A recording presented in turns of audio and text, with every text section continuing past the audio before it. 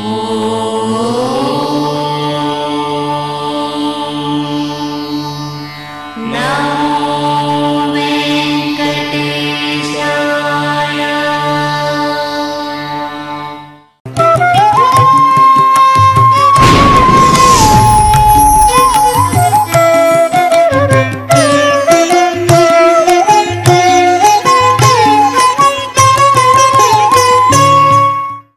ఓం నమో వెంకటేశాయ.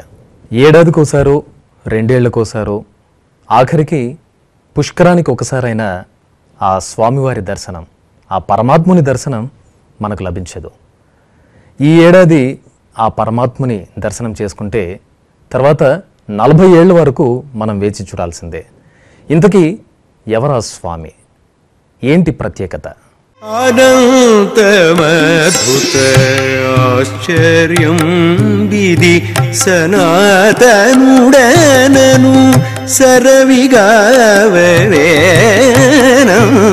సరవిగావేనంతమద్భుత ఆశ్చర్యం విధి సనాతనుడనను సరవిగావే అతివరదరాజ స్వామివారి రహస్య విశేషాలను మీకు అందరికీ తెలియచేయడానికి మనతో ఉన్నారు. తిరుపతి రాష్ట్రీయ సంస్కృత విద్యాపీఠం సంస్కృత ఆచార్యులు శ్రీమాన్ చక్రవర్తి రంగనాథన్ గారు శ్రీమాన్ రాజగోపాలన్ గారు. గురుగారు ముందుగా మీరు చెప్పండి. ఆలయాల నగరంగా వినితికెక్కినటువంటి కాంచీపుర క్షేత్ర విశేషాలను అలాగే వరదరాజస్వామి వారి ఆలయ విశేషాలను తెలియచేయండి. క్షేత్ర స్మరణ ఆ క్షేత్రం యొక్క నామాన్ని నోరారా పలికినా అది ఎంతో పుణ్యం. అని అనేక మంది ప్రాచీనుల యొక్క భావన. దేవాలయాలలో ప్రత్యేకంగా చెప్పుకోదగినటువంటి నూట ఎనిమిది దివ్య క్షేత్రాలలో ఆళ్వారుల దివ్య ప్రబంధ రూపమైనటువంటి నాలుగు వేల పాశురాలలో నూట ఎనిమిది దివ్యక్షేత్రాలు కీర్తింపబడి ఉన్నాయి. అందులో ప్రధానంగా చెప్పబడినటువంటి క్షేత్రాలు మూడు కాగా వాటిని కోయిల్ తిరుమలై పెరుమాళ్ కోయిల్ అని అంటారు. కోయిల్ అని అంటే అది పెరియ కోయిల్ అని శ్రీరంగంలో ఉన్నటువంటి ఆ దేవాధిదేవుడు రంగనాథుని యొక్క దివ్య ధామమని మనం తెలుసుకోవచ్చు. ఇక భక్తుల పాలిటి కొంగు బంగారమైనటువంటి ఏడుకొండలవాడు తిరుమల దివ్యక్షేత్రంలో ప్రసిద్ధిని పొందితే ఇక మూడవదిగా పేరొందినటువంటి పెరుమాళ్ కోయిల్ అన్నటువంటిదే కాంచీపుర దివ్యక్షేత్రం. పెరుమాళ్ అని ఎక్కడెక్కడైతే కీర్తింపబడుతుందో పాశురాలల్లో అక్కడల్లా కూడా కంచి వరదుని యొక్క స్మరణే గుర్తుకు రావాలట. అదే పెరుమాళ్ కోయిల్ అనబడేటటువంటి కాంచీపుర దివ్యక్షేత్ర మహిమ. ఈ క్షేత్రాన్ని రెండుగా విభజించుకొని అందు ప్రస్తుత సందర్భానికి అనుకూలమైనటువంటి విష్ణు కంచి విశేషాలను గురించి మనం తెలుసుకోబోతున్నాం. ఈ క్షేత్రం ఇంతటి గొప్పగా వెలుగొందడానికి కారణం అక్కడ వెలసినటువంటి వరదరాజస్వామి భక్తులతో సరాసరి మాటలాడుతుండేటటువంటి సందర్భాలు ఇతిహాసంలో ఎన్నో కనిపిస్తాయి. భగవద్ రామానుజాచార్యుల యొక్క గురువుగారుగా కీర్తింపబడేటటువంటి తిరుక్కచ్చినంబి అనేటటువంటి మహనీయులు సాక్షాత్తు వరదరాజస్వామి వారి యొక్క గర్భాలయంలో స్వామి పక్కనే నిలబడి స్వామివారికి వింజామర కైంకర్యాన్ని సమర్పిస్తూ ఉన్నటువంటి శుభ సమయములో ప్రతినిత్యము కూడా వరదరాజస్వామి వారితో మాటలాడుతూ ఉండేటటువంటి వారని రామానుజాచార్యులు తనకు కలిగినటువంటి సందేహములని తిరుక్కచ్చినంబి వారి ద్వారా భగవంతుని అడిగి సమాధానములు తెలియజెప్పమని ప్రార్థించినట్లు అదేవిధముగా తిరుక్కచ్చినంబి రామానుజాచార్యుల యొక్క ఆరు సంశయములను భగవంతుని దగ్గర నివేదించి సమాధానములను తెలుసుకొని రామానుజాచార్యులకి తెలియజేసినట్లు కూడా కథాభాగం మనకు తెలుస్తున్నది. ఇంతటి గొప్ప దేవాధిదేవుడిగా వెలుగొందుతూ ఉండేటటువంటి ఆ దివ్యక్షేత్రం ఏమిటి గొప్పతనం అనంటే అది సామాన్యమైనటువంటి క్షేత్రం కాదు. కరిగిరి అని హస్తిగిరి అని కాంచీపురం అని అనేక పేర్లతో గొప్పగా భక్తుల చేత కొనియాడబడేటటువంటి క్షేత్రం. కంచి కంచి అని అంటూ ఉంటాం. కా అంచి అని రెండుగా విడగొట్టుకొని సాక్షాత్తు క అనేటటువంటి పదము ద్వారా బ్రహ్మదేవుని కీర్తిస్తూ అంచి అంటే ఆరాధించినటువంటి క్షేత్రంగా ఒక విధంగా అన్వయం చెప్పుకుంటే అందు వెలసినటువంటి దేవాధిదేవుడు వరదరాజుని బ్రహ్మ ఆరాధన చేశారట. ఒకనాడు మాట్లాడినటువంటి అర్చారూపము ఈనాడు మనం దర్శిస్తూ ఉండేటటువంటి మూలమూర్తి ఇరువురు ఒకరేనా అనంటే కాసంత వివేచనతో ఆలోచిస్తే మనకు స్ఫురించేటటువంటి అంశం ఒకనాడు మాట్లాడినటువంటి దేవాధిదేవుడు మూలమూర్తి అర్చామూర్తి నేడు అత్తి వరదునిగా ప్రసిద్ధి పొందినటువంటి అర్చారూపమే అని మనం భావించుకోవచ్చు. అటువంటి దివ్య క్షేత్రంలో వెలిసినటువంటి దేవాధిదేవుడు. కరి అంటే ఏనుగు అని అర్థం. హస్తి అంటే ఏనుగు అని అర్థం.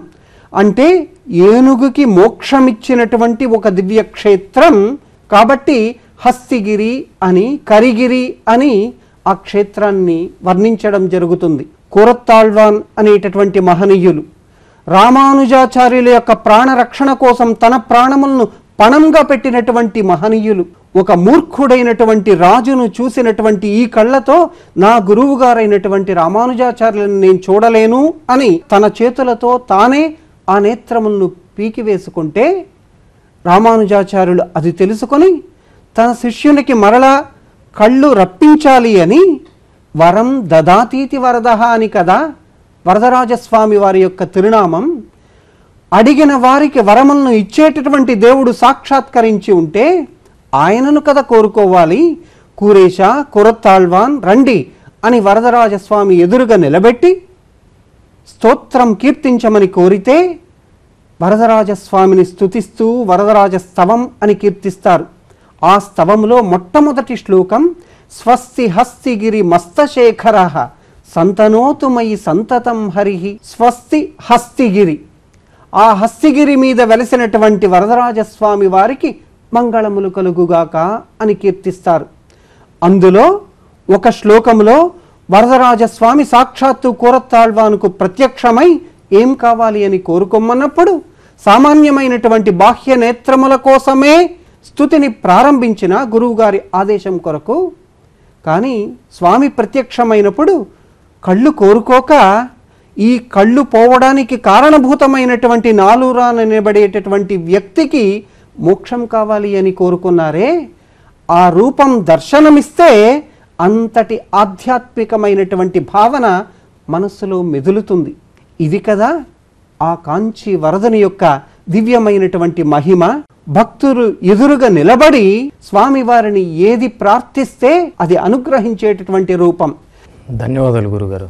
కాంచీపుర క్షేత్ర విశేషాలను స్వామివారి అద్భుతమైనటువంటి మహిమను మాకు తెలియజేశారు.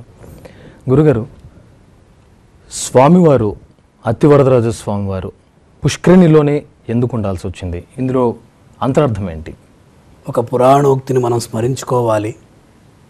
కృతే వరదరాజస్తు త్రేతాయాం రఘునందన ద్వాపరేతు జగన్నాథ కలవు వెంకటనాయక అన్న రీతిగా మన ఈ దేశ విదేశాల్లో ఉన్నటువంటి వాళ్ళందరూ కూడా ఈనాడు ఏ స్వామి కొరకు వాళ్ళంతా కూడా పరితపిస్తూ ఒక ఉబలాటంతో కుతూహలంతో వాళ్ళందరూ కూడా ఇప్పుడు కాంచీపుర క్షేత్రానికి వచ్చి చేరుతున్నారు.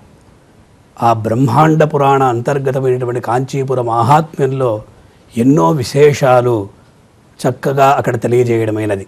వాస్తవంగా ఆ పుష్కరిణిలోనే స్వామి ఎందుకు అక్కడ ఆ స్వామిని అక్కడ ఉంచాలి అన్నప్పుడు పదిహేడు వందల మూడవ సంవత్సరంలో ప్లవనామ సంవత్సరం ఆషాఢ శుద్ధ దశమి నాడు అనంత సరస్సు అంటారు. ఈ అనంత సరస్సు నుండి ఎప్పుడైతే నీటిని అక్కడ ఉన్నటువంటి వాళ్ళందరూ కూడా తోడుతూ ఉన్నారు ఆ సమయంలో నీరాళి మండపం అనేటువంటి మండపంలో ఆ అత్తి వరదరాజస్వామిని వాళ్ళందరూ కూడా దర్శించుకున్నారని ఆ కాంచీపురంలో ఉన్నటువంటి వరదరాజస్వామి వారి యొక్క ధ్వజస్తంభం కింద ఉన్న ఉదయభాను మండపంలో ఒక శిలాశాసనం తెలుగు లిపిలో వ్రాయబడి ఉన్నది. అక్కడే కైంకర్యం చేస్తున్నటువంటి ఆ తాత దేశికనంటారు వాళ్ళ యొక్క కుమారులు వాళ్ళు విశేషంగా తిరుమల తాతాచారులు వెంకటవరద తాతాచారులు వీరు ఇరువురు కూడా ఆ సమయంలో తురుష్కుల దాడి అనేది జరుగుతున్న సందర్భంలో ఈ స్వామిని మనం ఎలా కాపాడాలి అని వాళ్ళు తరచి ఆ స్వామిని ఆ పుష్కరిణిలో దాచిపెట్టారట. ఆ దాచిపెట్టినటువంటి ఈ అనంత సరస్సు ఏదైతే ఉన్నదో ఆ స్వామి దాదాపు నలభై సంవత్సరాల పాటు ఎవ్వరికీ తెలియకుండా పోయారట. వీళ్ళు అక్కడ ఉన్నటువంటి ఉత్సవమూర్తులను అంతటినీ కూడా తీసుకుని వెళ్ళి ఉడయార్పాళయం అనేటువంటి గ్రామంలో అక్కడ ఉన్నటువంటి ఆ జమీందారి యొక్క ఆశ్రయాన్ని పొంది వాళ్ళు ఈ ఉత్సవమూర్తిని కాపాడుతూ వస్తూ ఉన్నారు. ఆ సందర్భంలో అక్కడ ఉన్నటువంటి వాళ్ళు ఆ స్వామి కైంకర్యం చేస్తూ ఉంటే కాంచీపుర క్షేత్రం ఆ కరిగిరి వరదుడు లేక కాంతి విహీనమైనది. ఆ సందర్భంలో వాళ్ళందరూ కూడా శీవరం అనేటువంటి చోట ఉన్నటువంటి వాళ్ళతో కలిసి ఒక శిలామూర్తిని కూడా తయారు చేసి పెట్టారట. ఇక్కడ ఉన్నటువంటి స్వామిని ఎలా తీసుకురావాలి ఎవ్వరికి కూడా ఆ సమయంలో తెలియలేదు.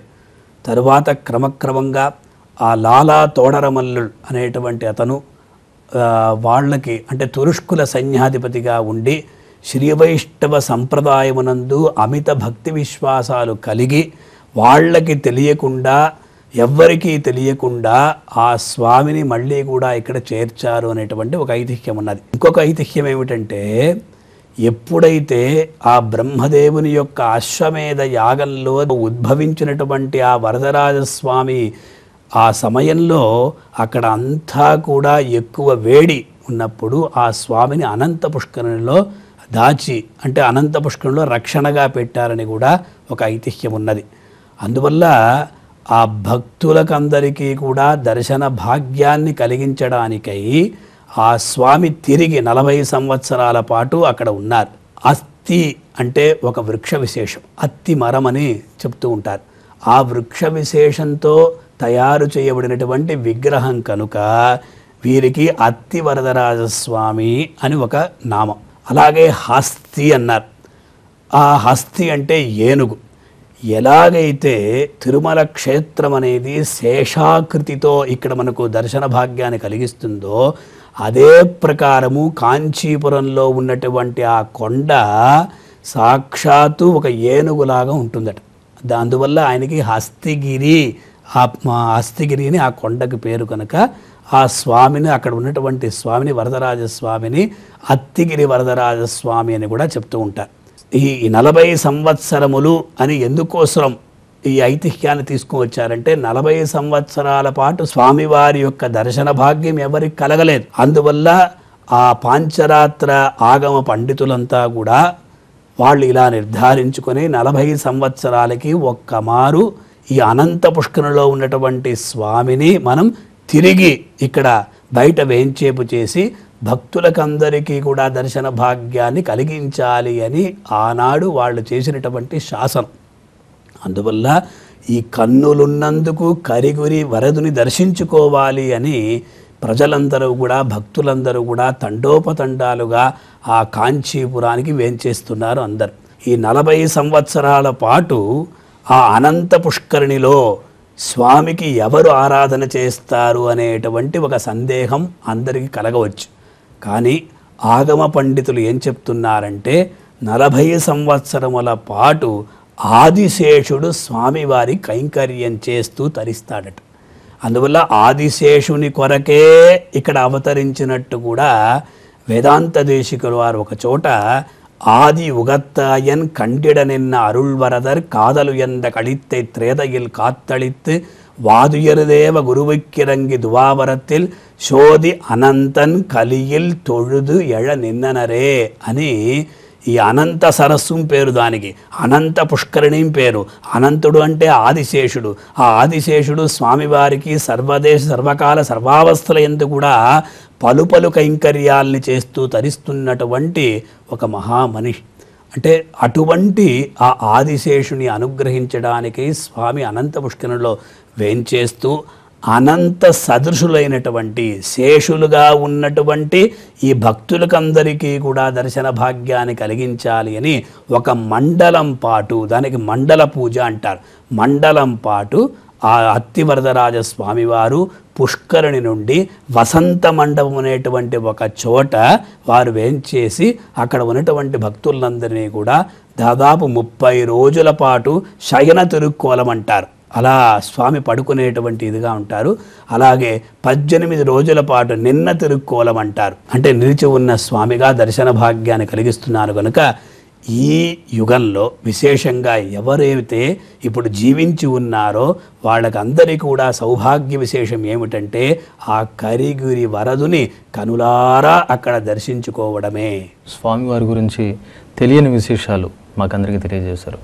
గురుగారు మీరు చెప్పండి అసలు స్వామివారికి అత్తి వరదరాజ స్వామివారు అని పేరు ఎలా సార్థకమైంది? అత్తి అనేటటువంటిది ఒక వృక్ష విశేషం అత్తి చెట్టు అని అంటారు. ఆ అత్తి చెట్టు యొక్క కాండము ద్వారా నిర్మితమైనటువంటి విగ్రహం కాబట్టి అత్తివరదుడు అని కీర్తించాలి అని భక్తుల యొక్క కొందరి భావన. అనుకుందాం అలాగే. మరో విశేషమైనటువంటి అర్థం పురాణాల్లో ఏం చెప్పబడి ఉంది అనంటే హస్తి అన్నటువంటి పేరు తమిళ భాషలో అత్తి అన్నటువంటి నామాంతరం చెందింది అని. ఆళ్వారుల యొక్క వాంగ్మయాన్ని గాన పరిశీలిస్తే అత్తియూరాన్ పుళ్ళయూర్వాన్ అన్న పాశురమే కనిపిస్తుంది. ఈ హస్తియూరాన్ అన్నటువంటి పదం హస్తి అన్నటువంటిది యథాతథంగా తమిళంలో పలికేటటువంటి సంప్రదాయం లేదు. తమిళ భాషా సౌలభ్యం తమిళ భాషా సౌందర్యం కూడా.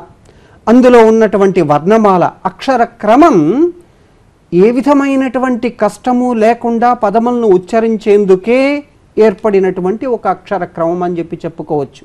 ఇంకా మరొక చోట అత్తత్తిన్ పత్తానాల్ తోన్నియ అచ్యుదన్ అన్నటువంటి మాట వస్తుంది. హస్త అన్నటువంటి పదాన్ని అత్త అని ఆళ్వార్లు పాశురాల్లో ప్రయోగించి ఉన్నారు. హస్త నక్షత్రానికి పదవ నక్షత్రంలో అవతరించినటువంటి శ్రీకృష్ణ పరమాత్మను కీర్తించేటటువంటి పాశురం. అంటే బహుశా హస్తి అన్నటువంటి పదమే అత్తి అన్నటువంటి పదముగా నామాంతరం చెందినందువల్ల రాష్ట్రం తమిళనాడు కాబట్టి అది అత్తివరదుడు అత్తివరదుడు అన్నటువంటి పేరే ప్రసిద్ధిని పొంది మనందరం కూడా ఆ పేరుతోనే స్వామిని పిలుస్తూ ఆరాధిస్తూ అర్చిస్తూ అనుగ్రహాన్ని పొందుతూ ఉన్నాం. విగ్రహాలు మూడు నాలుగు రకములుగా ఆగమశాస్త్రంలో చెప్పబడి ఉన్నది. పాషాణ విగ్రహాలు అంటే రాతితో నిర్మితమైనటువంటి విగ్రహాలు. శిలా విగ్రహాలు లోహముతో నిర్మితమైనటువంటి విగ్రహాలు. అది పంచలోహాలు కూడా కావచ్చు. ఇక మూడవది దారు విశేషముతో అంటే కొయ్యతో నిర్మించబడినటువంటి విగ్రహాలు. పూరిలో ఉన్నటువంటి జగన్నాథ స్వామి దారు విగ్రహమే. ఈ కంచిలో ఈనాడు నలభై ఏళ్ళ తర్వాత వెలికి తీసి భక్తజనులకు అనుగ్రహం కల్పిస్తూ ఉండేటటువంటి ఈ విగ్రహము దారు విగ్రహమే. అంటే పూరి విగ్రహం సనాతనం. యుగాంతరానికి సంబంధించినటువంటిదిగా కూడా మనం భావించుకోవచ్చు. మరి ఆ విగ్రహముతో సమానముగా ఈ విగ్రహం కూడా ఉన్నది అని అంటే దారు విగ్రహాల్ని ఆరాధించేటటువంటి ఆనాటి కాలానికి చెందినటువంటిదిగా కూడా మనం ఈ అత్తివరదుని కీర్తించుకోవచ్చు. ఒకనాడు బ్రహ్మకు సాక్షాత్కరించినటువంటి విగ్రహం ఆదిశేషుడు ముఖై సహస్రేణ ఫణీవదేచ్చేత్ అని అంటారు విద్యానాథుడు అనబడేటటువంటి మహాకవి. స్వామివారి యొక్క దివ్య మహిమని ఆదిశేషుడు సహస్రపు తలలను పెట్టుకొని వర్ణించినా కూడా తనివి తీరదట. అటువంటి స్వామిని ఆదిశేషుడు పూజిస్తూ ఉంటే నలభై ఏళ్ళకోసారి ఈ భూలోకంలో ఉండేటటువంటి భక్తజనులను అనుగ్రహించడానికి ఒక్కసారి అలా పైకి వచ్చి నిన్న మొన్నటి వరకు శయన అలంకారముతో దర్శనమిచ్చి మరి దాదాపు ఒక పద్దెనిమిది రోజుల పాటు నిలుచున్నటువంటి రూపములో దర్శనమిచ్చేటటువంటి అత్తివరదుడు ఒకే కాలములో అటు చైనాలంకారము ఇటు నిలుచున్నటువంటి అలంకారమును దర్శించడం ఎంత విశేషం? అలా అత్తివరదుడిగా ఒక కొయ్య నీటిలో అనేక వందల వేల సంవత్సరముల పాటు ఉంటే చెక్కు చెదరకుండా ఉంది అనంటే ఇది కదా స్వామివారి యొక్క మహిమ. కలియుగములో నిజంగా స్వామివారు సాక్షాత్కరిస్తున్నారు అని చెప్పి చెప్పడానికి ఇంతకన్నా ఉదాహరణ వేరొకటి అవసరం లేదు కదా? ఆ అత్తివరదుని శయన రూపాన్ని నిలుచున్నటువంటి రూపాన్ని దర్శించుకొని ఆ స్వామివారిని ప్రార్థిస్తూ ఈ లోకమంతా సుభిక్షంగా సస్యశ్యామలంగా సుఖ సంతోషాలతో ఆయురారోగ్య ఐశ్వర్యాలతో ఆనందంగా ఉండేందుకు స్వామి నీ అనుగ్రహాన్ని కల్పించవయ్యా అని ప్రార్థిస్తున్నాం. పరమాత్ముని లీలా విశేషాలను చక్కగా తెలియజేశారు. గురుగారు మీరు చెప్పండి ఇప్పుడు ఆచార్యులు ఆళ్వార్లు స్వామివారిని ఎలా సేవించారు? అగాధ భగవద్భక్తి సింధుడైనటువంటి పన్నిద్దరు ఆళ్వారులు. వారు కీర్తించినటువంటి దివ్యదేశాలు నూట ఎనిమిది. అందులో ఈ కాంచీపురం అనే దివ్యక్షేత్రం మూడవ దివ్యదేశంగా వెలుగొందుతున్నది. ఈ పన్నిద్దరు ఆళ్వార్లో మొట్టమొదటి ఆళ్వార్లు పొయ్య ఆళ్వార్లు. వారికి సరోయోగి పేరు? అక్కడే కాంచీపురంలోనే ఒక సరస్సులో వారు అక్కడ ఉద్భవించారు. ఆళ్వార్లో రెండవ ఆళ్వార్లు భూదత్తాళ్వారు వారు ఈ అత్తిగిరి అత్తి వరదరాజస్వామిని అద్భుతంగా స్తోత్రం చేసి ఉన్నారు அத்தியூரான் புள்ளையூர்வான் அணிமணியின் துத்திசேர் நாகத்தின் மேல் துயில்வான் முத்தி மறையாவான் మాగడల్ నంజుండాం తనక్కుం ఇరయావాన్ ఎంగళ్ పిరాన్ అన్నారు అటువంటి అత్తియూరాన్ పుళ్ళయూర్వాన్ పుళ్ళయూర్వాన్ అంటే గరుడుని వాహనంగా కలవాడు అణి మణియిన్ తుత్తిసేర్ నాగత్తిన్ మేల్ తుయిల్వాన్ అందరూ అనుకుంటారు పాము పాము అని. కానీ ఆదిశేషుని యొక్క వైభవాన్ని ఎవ్వరు కూడా చెప్పలేరు. ఆ ఆదిశేషుడు వెయ్యి పడగలతో ఆ పడగలపైన అద్భుతమైనటువంటి మణులతో వెలుగొందుతుంటాడు. ఆ కాంతులంతా కూడా స్వామివారి పైన అక్కడ ప్ర- ప్రసరిస్తూ ఉంటాయట. అణి మణియిన్ తుత్తిసేర్ నాగత్తిన్ మేల్. నాగం అంటే ఆదిశేషుడు. ఆ పైన తుయిల్వాన్ అలా పడుకున్నటువంటి స్వామి ఎవరు అన్నారు? ముత్తి మరయావాన్. అంటే మూడు అగ్నులు అన్నమాట ముత్తి మూడు అగ్నులు. అంటే గార్హపత్యం దాక్షిణాత్యం ఆహవనీయం అనేటువంటి మూడు అగ్నులు. ఈ మూడు అగ్నులు కూడా వేటి చేత అక్కడ చెప్పబడతాయంటే మరై. మరై అంటే వేదం. అందువల్ల ఆ వేదం చేత తెలుపబడినటువంటి ముత్తి మరై ఆవాన్. మా కడల్ నంజి ఉండాంతనక్కం ఆ సముద్రమథన సందర్భంలో హాలాహలం ఎప్పుడైతే బయటికి వచ్చిందో ఆ హాలాహలాన్ని విషాన్ని మెరింగినటువంటి శివుడు ఎవరైతే ఉన్నారో అతనికి కూడా స్వామి అయినటువంటి ముత్తి మరయావాన్ మాగడల్ నంజి ఉండాంతనక్కం ఇరయావాన్ ఎంగళ్ పిరాన్. ఇరయావాన్ అంటే అందరికీ కూడా కయితి బ్రహ్మణో నామ ఈశోహం సర్వదేవిన ఆవాన్ తవాంగే సంభూతో తస్మాత్ కేశవనామవా అన్న రీతిగా ఆ స్వామి అందరికీ కూడా ఎంగళ్ పిరాన్ మాకు అందరికీ కూడా ఉపకారకుడుగా ఉన్నటువంటి ఓ స్వామి. ఇప్పుడు నువ్వు ఎక్కడ వేంచేసి ఉన్నావన్నారు? అత్తియూరా. నువ్వు ఈ హస్తిగిరిలో నువ్వు వేంచేసి ఉన్నావు కదా అదే నీకు ఊరు కదా అని అద్భుతంగా ఆళ్వార్లు స్తోత్రం చేస్తున్నారు. ఆళ్వార్లు మాత్రం కాదు ఆచార్యులు జగదాచార్యులు విశేషంగా యామునాచారుల వారు. ఎందుకంటే వారు ఎప్పుడైతే కాంచీపుర క్షేత్రానికి వచ్చి వరదరాజస్వామిని దర్శించుకున్న తరువాత ఈ రామానుజాచార్యుల మా యొక్క తేజస్సు చూశారు. చూసిన తరువాత మళ్ళీ వరదరాజస్వామిని పోయి దర్శించుకున్నాట. ఏ వరదరాజస్వామి వారి యొక్క అనుగ్రహ విశేషం చేత బదిరహ శృణోతి చెవిటివాడు కూడా వినగలుగుతాడు. అంత ప్రపశ్యతి అంటే ఎవరైతే కళ్ళు లేనివాడు గుడ్డివాడు అతడు కూడా బాగా చూడగలుగుతాడో. జవేనచ భక్తి మూక మూగవాడు కూడా వేగంగా పలకగలుగుతాడు. అలాగే గొడ్రాలు అని పేరు ఎవరికైతే ఉందో వాళ్ళకు కూడా అక్కడ బిడ్డలు పుడతారు. అటువంటి స్వామి ఓ వరదరాజా ఈ బాలుణ్ణి విశిష్టాద్వైత సిద్ధాంత ప్రవర్తకాచార్యుడిగా నీవు చెయ్యాలి అని తన యొక్క చల్లని చూపులతో స్వామిని ప్రార్థింప ఆ దయాహృదయుడైనటువంటి ఆ దేవాది దేవుడు కరిగిరి వరదుడు అనుగ్రహించినందువల్లనే భగవద్రామాదుల వారి యొక్క విశిష్టాద్వైత సిద్ధాంతం ఆనాటి నుండి ఈనాడు వరకు అద్భుతంగా అక్కడ కీర్తిని పొంది ఉన్నది.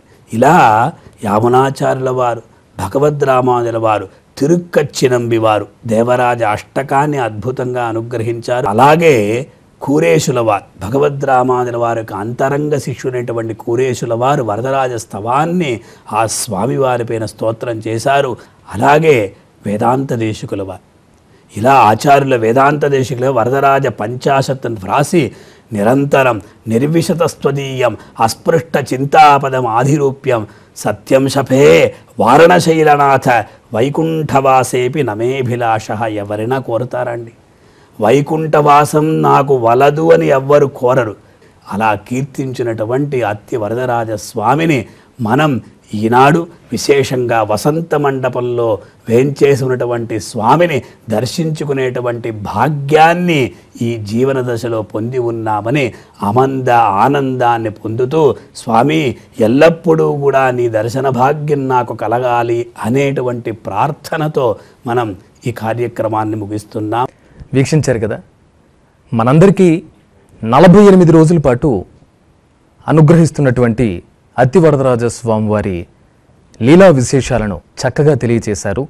మనందరికీ కూడా ఆ పరమాత్ముడు అత్తివరదరాజస్వామి వారి కరుణాకటాక్ష వీక్షణాలు ఎల్లప్పుడూ ఉండాలని కోరుకుంటూ ఓం నమో వెంకటేశాయ.